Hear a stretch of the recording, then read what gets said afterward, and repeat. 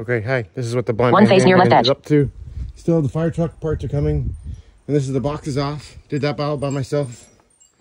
And I have this truck up in the air. The wiring harness, I got the sections all ready to check out. I have that other transmission, which is different. I have the piece off it, the transfer case. And I have it all over here. So the difference is the output shaft. So this is the old transfer case. It's all broke up in pieces. But the output shaft is right here and it's still in good shape. That's the output shaft. And it, see, I got to change it to a, a flange. This is the flange. That's what I have to change it to. What's in it right now is this here. That's what's on this trans this transfer case. So I'm changing it to this type of transfer case. So this is the transfer case that's good. And I have it here all in parts. So that this is a transfer case I'm taking out. This this shaft I'm putting in the other one and changing all the parts I need to change. And hopefully it'll, that should all work out. And here's the wiring harness.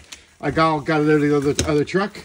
So I'm going to be using this here to fix the other wiring harness where it's all damaged. Cut it out so I can keep all the color. Most important, I'm using this here wiring harness to keep all the colors properly. So I'll be putting a section in.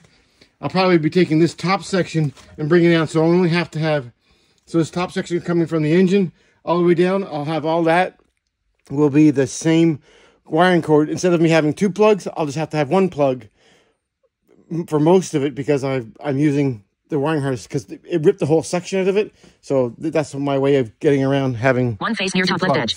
And then over here are the fuel lines that got ripped out uh, on this table. So some of those, one of them is damaged. I got took them out of the other truck. So I have to try to take apart one edge. end of the fuel line uh, out and make it go into the other one. So hopefully I'll have a video on that showing how I'm going to do it. I'm not sure if I'm going to use Near top left edge. I'm not sure what it's made of. The Near left edge. The plastic.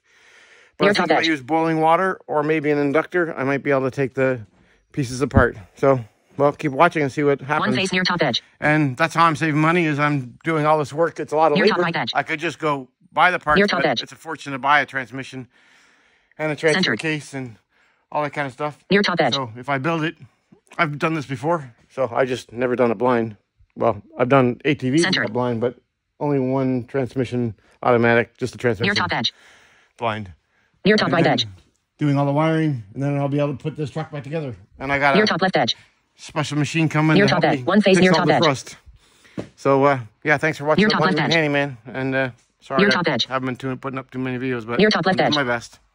Have a wonderful day. Thanks.